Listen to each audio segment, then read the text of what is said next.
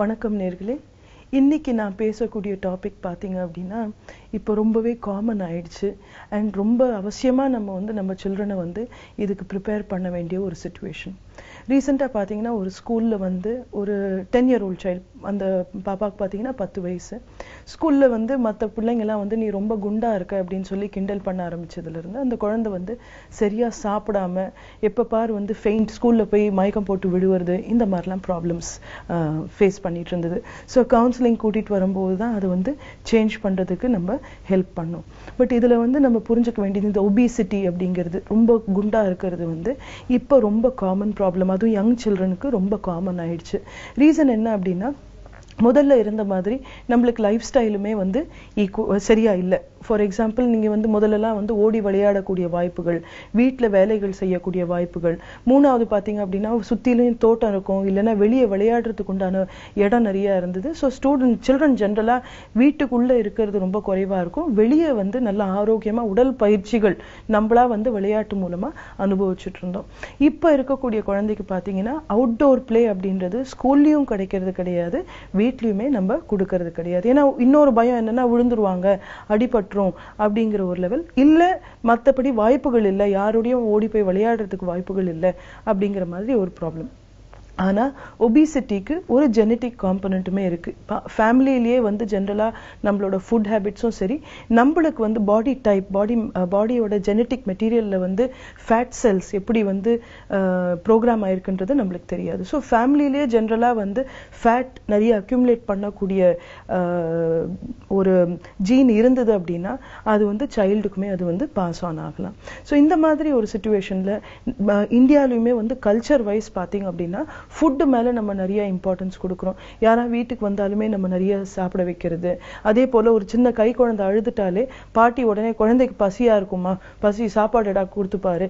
அப்படின்ற லெவலில் எல்லாமே வந்து நம்ம ஃபுட்டை சுற்றியே நம்ம இது பண்ணிடுறோம். ஒரு செலிப்ரேஷன் நம்ம பண்ணுறோம் ஒரு கல்யாணம் எதுவாக இருந்தாலும் அது வந்து ஃபுட்டு டைமுக்கு ஏற்ற மாதிரி தான் நம்ம வந்து முகூர்த்தமே வந்து நம்ம தேடுறோம். ஸோ இந்த மாதிரி ஒரு சுச்சுவேஷன் இருக்கும்போது ஃபுட்டு மேலே இவ்வளோ இம்பார்ட்டன்ஸ் இருக்கும்போது லைஃப் ஸ்டைலில் நம்ம கண்டிப்பாக மாற்றங்கள் கொண்டு வரணும். இந்த ஒபிசிட்டினால ரொம்ப குண்டா இருக்கக்கூடிய குழந்தைங்களுக்கு ஃபர்ஸ்ட் ஆஃப் ஆல் ஹெல்த் ரீதியா நிறைய ப்ராப்ளம்ஸ் வரத்துக்கு வாய்ப்புகள் இருக்கு. சைல்டுஹுட்லயுமே வரலாம். லேட்டர் ஆன் டயபெட்டிஸ் மாதிரி விஷயங்கள் வரலாம். பட் நான் பேசக்கூடியது மன ரீதியான விஷயங்கள். மன ரீதியாக வந்து அந்த குழந்தைய வந்து எல்லாருமே கிண்டல் பண்ணுறாங்க ஸ்கூலில் வந்து நீ குண்டா இருக்க நீ இப்படி இருக்க அதுக்கு வந்து கேவலமாக பேசுறது அதெல்லாம் வர ஆரம்பித்த உடனேவே அந்த குழந்தைக்கு வந்து தான் அசிங்கமாக இருக்குமோ அப்படின்னு சொல்லி அந்த பாடி இமேஜ் இஷ்யூஸ் அப்படின்றது ஃபர்ஸ்ட் உருவாயிடும்.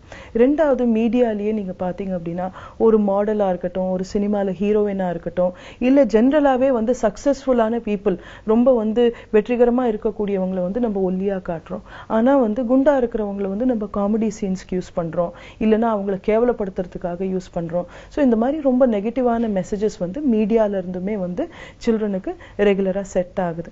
இது வந்து செகண்ட் நெகட்டிவ் மூணாவது விஷயம் அப்படின்னு பார்த்தீங்க அப்படின்னா ரொம்ப குண்டா இருக்கிறவங்களுக்கு வந்து மெசேஜ் என்ன வருது அப்படின்னா நீ என்னைக்குமே வந்து உருப்பட மாட்ட அப்படிங்கிற ஒரு ஃபீலிங்கை வந்து நம்ம கொடுத்துட்றோம் ஸோ இந்த மூணு விஷயமே வந்து அந்த குழந்தையோட சுயமதிப்பை வந்து ரொம்ப அஃபெக்ட் பண்ண ஆரம்பிச்சிடும் ஸோ நான் சொன்ன மாதிரி இந்த நெகட்டிவ் மெசேஜஸ் ஒரு குழந்தைக்கு போய் சேரும்போது ஃபர்ஸ்ட் அது வந்து அவங்க சுயமதிப்பை வந்து அஃபெக்ட் பண்ணுது. எந்த வகையில் அஃபெக்ட் பண்ணுது அப்படின்னா நம்ம அசிங்கமா இருக்குமோ அப்படின்னு சொல்லி அவங்க பாடி இமேஜ் அப்படிங்கிறத வந்து ரொம்ப நெகட்டிவா அஃபெக்ட் பண்ணிடுது. ரெண்டாவது விஷயம் என்ன அப்படின்னா இதனால அவங்க வந்து எந்த வகையான ஒரு ஃப்ரெண்ட்ஷிப்ஸுமே டெவலப் பண்ணாமல் ஒரு தனக்குள்ளேயே வந்து ஒரு நெகட்டிவ்லேயே இருக்கிறது வந்து பழக்கமாயிடுது. மூணாவது விஷயம் என்ன அப்படின்னா இதனாலேயே அவங்க வந்து வெளியே மற்றவங்க முன்னால் சாப்பிடாம இருக்கிறது மற்றவங்க முன்னால வந்து நடிக்கிறது ரொம்ப சந்தோஷமா இருக்கிற மாதிரி இருக்கிறது. இல்லைன்னா ரொம்ப ஓவராக போய் அவங்க கிட்ட சிரிச்சு பேசுறது. ஏன்னா ஐ எம் நாட் குட் நான் வந்து நல்ல நல்லா இல்லை. அதனால வந்து எக்ஸ்ட்ராவாக ஒரு ஒரு மாஸ்க் மாதிரி நான் போட்டாதான் மற்றவங்க என்னை வந்து அக்செப்ட் பண்ணிப்பாங்க. அப்படிங்கிற மாதிரி நெகட்டிவ் அவங்களுக்கு வந்து செட் ஆகிடும் நான் இந்த குழந்தைய பற்றி சொல்லும்போது சொன்னேன். அவள் வந்து சாப்பிட்றதையே நிறுத்திட்டு ஸ்கூலுக்கு போகும்போது அங்கே போட்டு மயக்கம் போட்டு விழுவுறதெல்லாம் கூட ஹேபிட் ஆயிடுச்சு. இது ஏன் அப்படின்னா அந்த சைல்டுக்கு வந்து நெகட்டிவான மெசேஜ் அவ்வளோ ஆழமாக அதை வந்து பாதிச்சிருச்சு. இது வந்து சைக்காலஜி ரீதியாக கொஞ்சம் டீனேஜ் டைமில் அனோரெக்சியா புலிமியான்னு சொல்லி ரெண்டு நோய்களாக கூட மாறலாம்.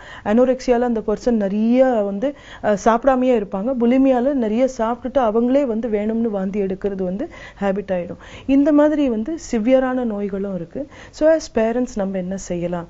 ஸோ ஒபிசிட்டி அப்படிங்கிறது நம்ம பிகினிங்லேருந்தே குழந்தை பிறந்ததுலேருந்தே வந்து ஃபுட் ஹேபிட்ஸில் ஒரு நல்ல பேலன்ஸ் என்றைக்குமே குழந்தைக்கு வந்து சாப்பாடு குறைச்சிருங்கன்னு நான் சொல்ல மாட்டேன். சாப்பாட்டை ஹெல்த்தி ஆக்குங்கன்னு தான் சொல்லுவேன் ஹெல்த்தி அப்படிங்கும்போது நம்ம என்ன பண்ணணும்னா கார்போஹைட்ரேட் தானிய வகைகள் புரோட்டீன் அதே போல் விட்டமின் மூணுமே ஈக்குவலாக பேலன்ஸ் ஆகிற மாதிரி கொடுக்கும்போது அந்த குழந்தைக்கு வந்து சரியாக பேலன்ஸ்டாக சாப்பிட்றதுக்கு மட்டும்தான் முடியும். ரொம்ப கார்போஹைட்ரேட் கொடுத்தீங்கன்னா தானிய வகைகள் ரொம்ப கொடுத்தா அது சாஃப்டாக இருக்கிறதுனால குழந்தை நிறையா சாப்பிட ஆரம்பிச்சிடும் ப்ரோட்டீனோட கலக்கும்போது விட்டமினோட கலக்கும்போது அவங்களால அதை ஈஸியாக பேலன்ஸ் பண்ண முடியும். ரொம்ப அதிகமாகவும் சாப்பிட முடியாது. இந்த மாதிரி சாப்பிடும்போது அந்த குழந்தைக்கு கண்டிப்பாக ஒரு மூணு மணி நேரத்துக்கு அப்புறம் தான் பசி எடுக்கும். இந்த மாதிரி ஹேபிட்ஸ் நீங்கள் கொடுக்க ஆரம்பிச்சீங்க அப்படின்னா அந்த குழந்தைக்கு வந்து ஹெல்த்தி ஈட்டிங் ஹேபிட்ஸ் வரும். ரெண்டாவது ஜங்க் ஃபுட்டுன்னு சொல்லக்கூடிய எண்ணெயில் பொரிச்சு எடுத்து ரொம்ப அதாவது இந்த ஜென்ரலாக அன்ஹெல்த்தி ஃபுட்டுன்னு சொல்லுவோம் ப்ராசஸ்ட் ஃபுட்டுன்னு சொல்லுவோம் ஆர்டிஃபிஷியல் ஸ்வீட்னஸ் இருக்கிறது அதெல்லாம் தான் ஒபிசிட்டி காஸ் பண்ணும். அதை நீங்க கட் பண்ணிட்டு ஹெல்த்தி ஃபுட்டை சரியா பேலன்ஸ் பண்ணிங்கனாலே ஒபிசிட்டி ஃபஸ்ட்டு உங்களுக்கு கண்ட்ரோலில் இருக்கும். ரெண்டாவது விஷயம் மோஸ்ட் இம்பார்ட்டன்ட் பெற்றோர்களா நம்ம என்ன செய்யணும் அப்படின்னா குழந்தைக்கு வந்து மெசேஜஸ் நம்மளுமே வந்து நீ இப்படி சாப்பிட்டுட்டே இருந்தால் உன்னை யாரை கட்டிப்பா? நீ இப்படி சாப்பிட்டுட்டே இருந்தா நீ உருண்டு உருண்டு ஸ்கூலுக்கு போவ?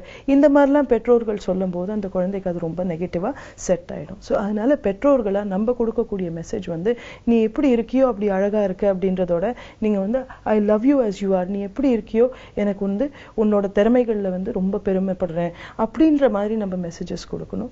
ரெண்டாவது மோஸ்ட் இம்பார்ட்டன்ட் நம்மளுமே வந்து எக்ஸசைஸ் பண்ண ஆரம்பிக்கணும். குழந்தையோட நம்ம எக்ஸசைஸ் பண்ண ஆரம்பிக்கிறது அப்படிங்கிறது கேஷுவலாக ஸ்டார்ட் பண்ணுங்க. நீங்கள் வந்து நீ குண்டா இருக்கிறதுனால நம்ம எக்ஸசைஸ் பண்ணுறோம் அப்படின்ற ஒரு மெசேஜ் கொடுக்காம கேஷுவலாக நீங்கள் ரெண்டு பேர் வாக்கிங் போகிறது பார்க்கில் விளையாடுறது எந்த வகையிலையாவது அதை வந்து நீங்கள் அதை என்கரேஜ் பண்ணலாம்.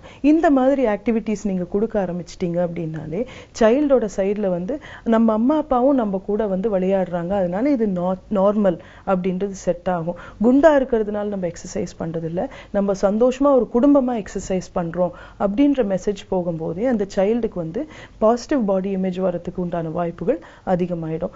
மற்றவங்க கிண்டல் பண்ண பண்ணாலுமே வீட்ல அவங்களுக்கு ஆதரவு இருக்கு. வீட்ல அம்மா அப்பா வந்து அவங்கள வந்து சப்போர்ட் பண்ணுறாங்கன்றது தெரிஞ்சதுனாலே குழந்தைக்கு வந்து ஹெல்த்தி மென்டல் ஆட்டிடியூட் டெவலப் ஆயிடும்.